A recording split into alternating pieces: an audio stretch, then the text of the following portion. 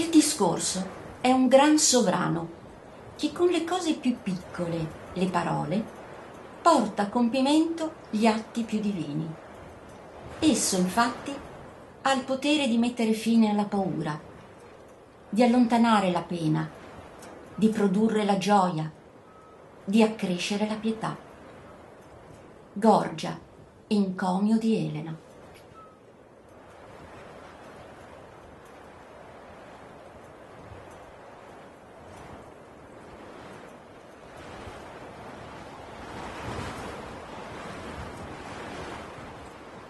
Mia bisnonna e mio bisnonno sono andati dall'Italia in Argentina, poi Spagna e poi di nuovo in Italia.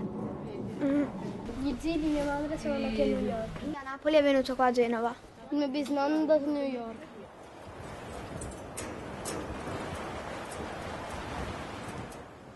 Mia mamma una volta stava cercando un lavoro in Ecuador, è venuto in Italia e ha trovato un lavoro su un ufficio.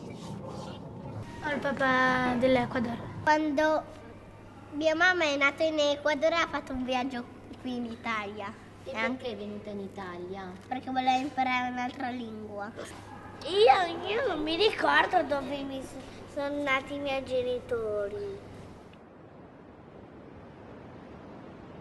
Gabriele, 4 anni. Dici i viaggiatori? Ma, eh, volevano avere un autobus. O non avevano soldi. O pensavano che dove arrivavano potevano avere una casa con il giardino. Mirka, 5 anni e mezzo. Oppure cercavano una casa, una scuola, un lavoro. Anthony, 5 anni e mezzo. Come ho fatto io.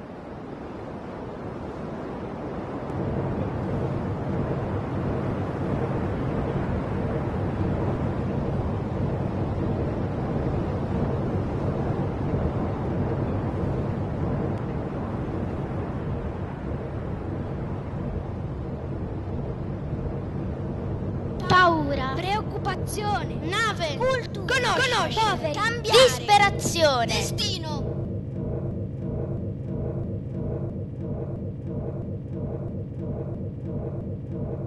Viaggio.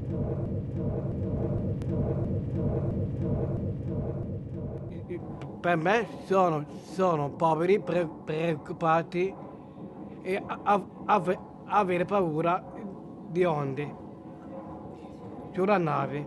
Io avevo detto che clandestino, diciamo che mm, è un grande destino che diciamo è un grande destino, diciamo che noi lo questo destino degli altri lo consideriamo povero, chissà chi sono, nessuno.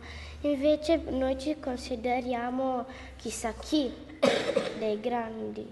Crudele destino. Cioè che la gente cambierà, ca- cambia paese. Perché la gente cambia paese? Perché non può più vivere, perché non può più vivere nella sua stessa città. Per eh, conoscere altre culture. Trovare lavoro. I, can- i clandestini sono quelli che si imbarcano an- per disperazione perché non trovano cibo oppure c'è una guerra nel loro paese. Senza, si imbarcano senza documenti e senza passaporto. Per trovare una vita migliore. Noi, noi lo assumono al lavoro e quindi loro per mantenere la loro famiglia sono costretti ad andare a rubare. Immigrato che è venuto in un paese senza, essere, senza farsi registrare, senza che lo Stato sappia che lui è lì. Questi sono persone che eh, attraverso mezzi illegali, trafficanti di uomini e roba varia, eh, giungono sulle coste e su dei barconi, anche quelli illegali, giungono da noi. Clandestino. Illegale. Stranieri. Nemico. Rubare. Distinzione. Noi e loro. Su questa definizione noi e loro, il primeggiare, un essere superiori, il noi, come dire, noi, io so- sopra, sopra di te, tu sei un- praticamente l'uomo sull'altro uomo, lo, cerca di renderlo un essere inferiore e sopra, sopraffarlo in qualche modo. Quindi per questo si dà questa distinzione. Ecco, andiamo verso l'imbarco.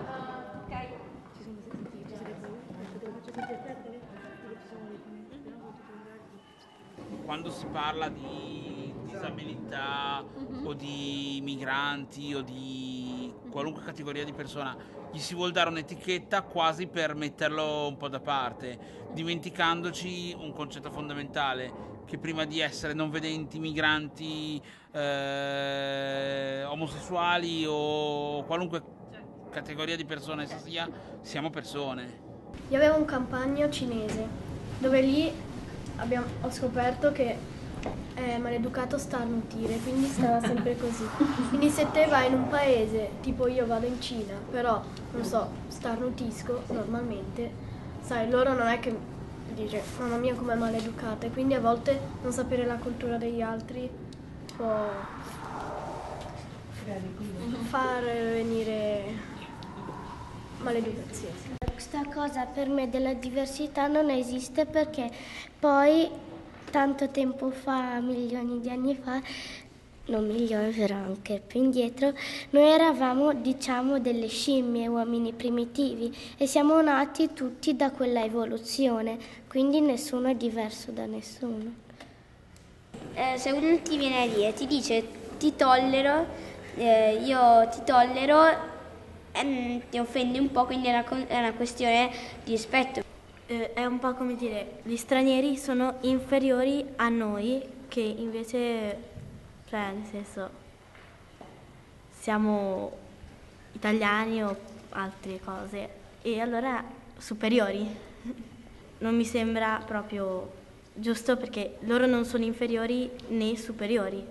Siamo uguali e basta, è giu- non è giusto. È anche bello non dire noi e loro, perché c'è sempre, nelle parole c'è sempre un confine.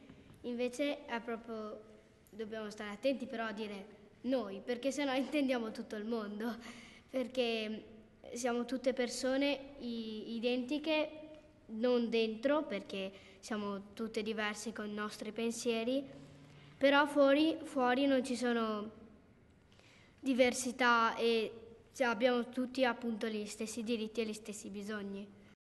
Flavio, cinque anni e mezzo. I confini sono muri che impediscono di andare da un'altra parte. Li ho visti solo nei libri, però.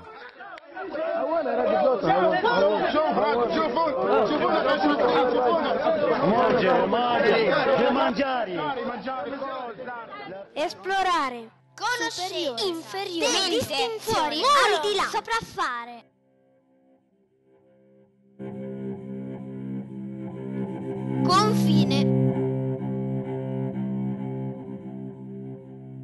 Se mm, mettono i confini, eh, l'uomo eh, sarà sempre convinto un po' eh, che il quello che entra a far parte del tuo paese sia sempre un nemico. discorso che che ho fatto perché per- una persona prima o poi dice lì non c'è il confine quindi posso passare e fare ciò che voglio io. Significa che non ci sarebbe più il confine immaginario, la persona andrebbe oltre a quello, quindi il confine fisico tutto sommato serve e qualche volta frena anche gli istinti negativi degli uomini. Ehm, secondo me una metafora che, che si associa bene a questo discorso eh, per, per il volere passare è un- una, una farfalla che vuole cercare di eh, andare in, in una- a, a esplorare anche lei, no? Ma questo muro è come un bambino che con il suo eletino la raccoglie, allora gli impedisce di ehm, ampliare le sue conoscenze. In questo caso la farfalla sa- saremo noi, quelli che vogliono ampliare le loro conoscenze, e il muro sarebbe il bambino con il retino.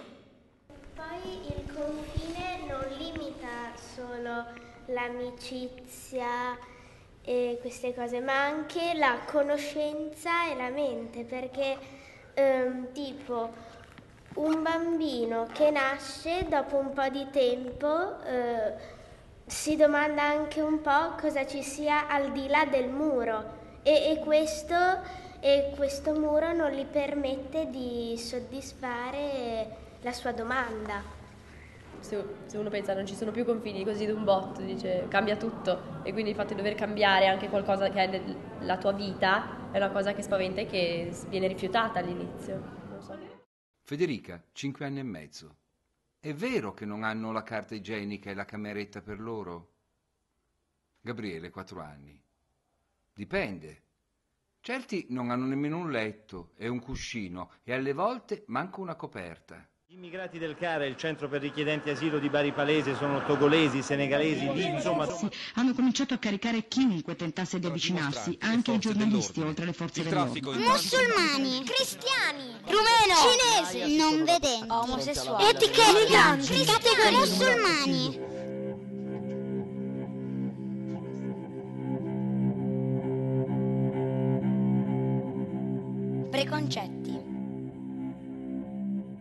Calcano di più su queste notizie, non, esatto. non, non, capisco per quale motivo, però calcano di più a dire che ne so che un romeno ha stuprato, rapito, fatto brigato piuttosto che io che sono italiana che ho fatto sì, la stessa cosa. Anche, ne, anche ai TG viene detto un ragazzo rumeno un ragazzo, punto. Secondo me c'è un pregiudizio, c'è anche dire che gli stranieri sono gli unici che rubano, non è vero, c'è anche gli italiani, solo che sono straniero, allora per esempio al telegiornale si dice marocchino, sono italiano non si dice neanche la, nat- non si dice la nazionalità. La tendenza di puntare il dito sempre sullo straniero, sul diverso perché è più debole, perché non ha lo stesso apporto. Perché non ha nulla su cui aggrapparsi. No, l'identità nazionale. Mm è più facile dire che è colpa di qualcuno di un altro paese piuttosto che pensare magari. La razza alla fine non bisogna per forza classificarla come una parola scientifica, è una parola che è entrata nel nostro lessico per dire che quella persona lì è di una razza che viene da un posto, un posto diverso, che deve essere apprezzato quanto il nostro. Perché poi noi diciamo razza, vediamo il termine, appena diciamo è razzista No, invece si può semplicemente dire che quel termine è entrato nel nostro lessico e si può vedere il lato positivo di quello. Dica razza perché vuol dire appartenenza a una cultura di un paese, cioè di un determinato paese.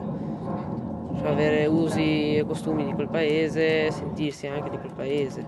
La razza è, è un insieme, un insieme, un tipo uguale che poi vabbè si può dividere in eh, diversi casi, ma noi nell'uomo non esiste la razza, è stato pure specificato da uno scienziato, e... però si crede ancora che esista.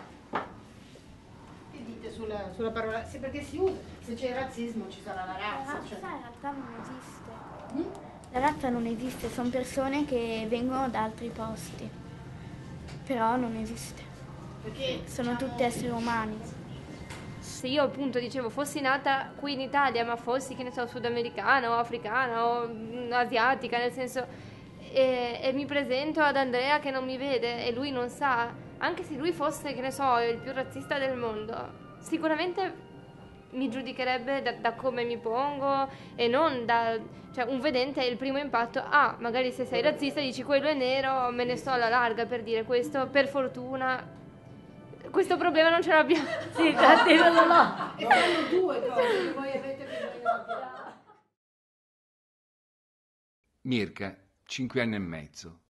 Non è uguale un ricco che ruba a un povero che ruba se uno è poverino non può mangiare, sta proprio senza mangiare, non può comprare manco un pupazzetto se ha un figliolino o un gelato.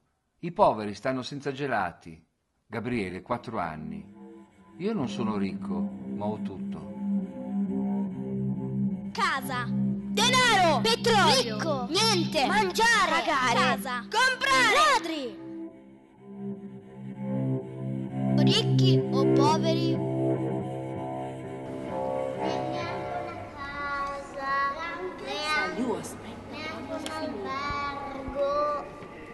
Senza il suo portafoglio. Per, per, messi, se metti, per, per mettere i suoi, i suoi soldi, i suoi soldi. Quindi scusate, la casa, i soldi, il lavoro. Senza soldini non si può comprare né la roba da mangiare né, né nient'altro. Niente. Se- senza niente non si può fare nessuna cosa. Noi abbiamo studiato con la professoressa da poco le crociate e mm, è guerra tra cristiani e musulmani e a un certo punto c'è un principe musulmano ricchissimo che mm, diserta una crociata, però da quel momento i cristiani, visto che hanno conosciuto questo principe musulmano così ricco, cominciano ad avere più rispetto per quella popolazione. è anche la ricchezza che un paese ha. Cioè, se hai il petrolio sei ricco. Se, se- se hai il petrolio sei ricco, se non ce l'hai, oppure se hai qualcos'altro, non so. E dipende anche da questo. Io lo so, serve che se uno va in un altro paese senza pagare lo arrestano. Umberta, sei anni. Al museo ci hanno dato anche un passaporto. Ginevra, quattro anni. Io l'avevo visto da piccola, l'aveva mia nonna. Saliù, sei anni. A me l'hanno dato a Milano. Pagare, arrestare, passaporto, ius soli, cittadinanza, illegale. Nel 1878 coniugato Giovanni Calci, emigrato, residente negli Stati Uniti, Springwater, California. Ah, sì, sì, vedo che c'è un biglietto già pagato. Legalità. Quanto porta con sé? 70 dollari. Mi arrestano, che c'è la prigione qua anche. Se invece non ho passaporto e libretto, allora che sono anche povera, non so. eh, mi, o mi rispediscono indietro o mi mettono dentro dove c'è la prigione qua. In Italia comunque eh, non sono tanto, cioè credo che non possono avere la cittadinanza italiana, anche se un, eh, uno che in passato è emigrato, non so, dall'Africa, però è nato in Italia, non può comunque avere la cittadinanza italiana. che non si può pretendere che le persone italiane non siano, tra virgolette, razziste se per primo lo Stato è, è razzista. Perché in- con questa legge siamo razzisti. Perché un italiano, cioè uno che nasce in Italia è italiano. Sono nato in Italia nel 98.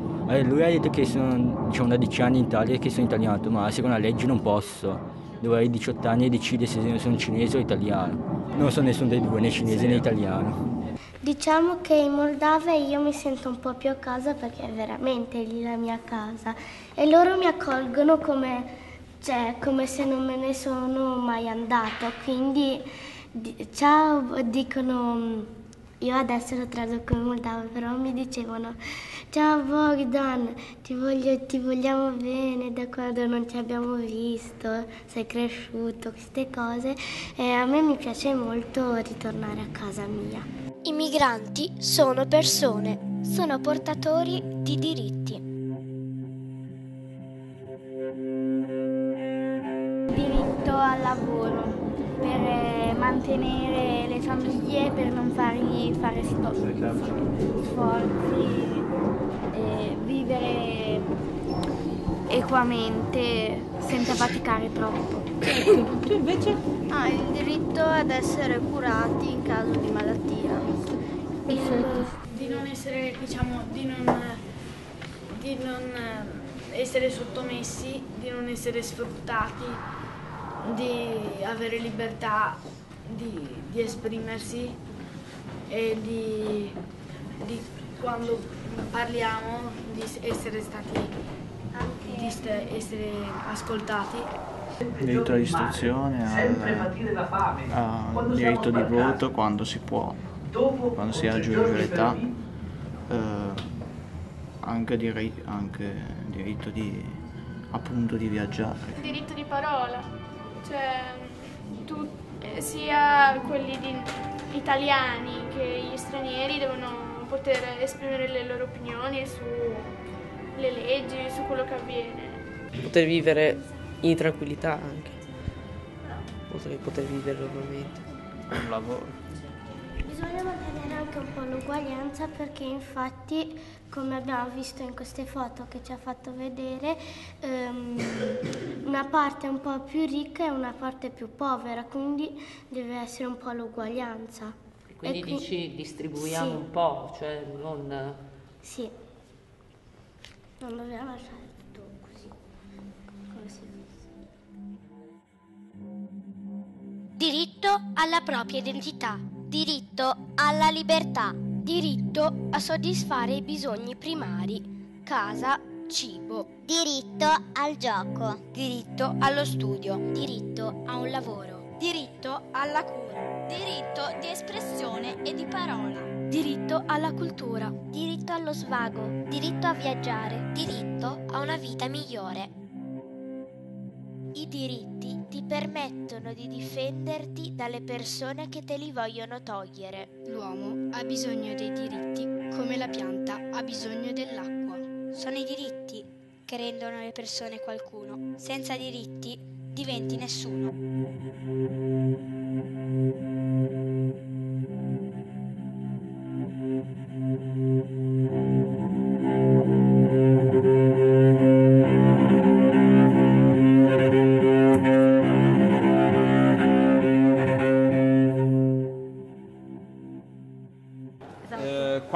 Quando, io sentivo eh, i messaggi delle bottiglie, i messaggi finali, mi venivano in mente tutte le storie di queste persone che ci hanno lasciato anche la vita. E poi, ne, e poi ne ascoltavo una, mi è capitato proprio così, per, per- non so, è un caso. Dicevano, eh, io ho pagato 5.000, quali- eh, non so, dollari, cosa ha detto, per fare il viaggio. Siamo partiti dalla Libia. E, e poi ti diceva, eh, appena siamo saliti sulla nave, ci hanno detto questa è la rotta, domani arriverete a Lampedusa. Cavolo, ma questo sta succedendo oggi.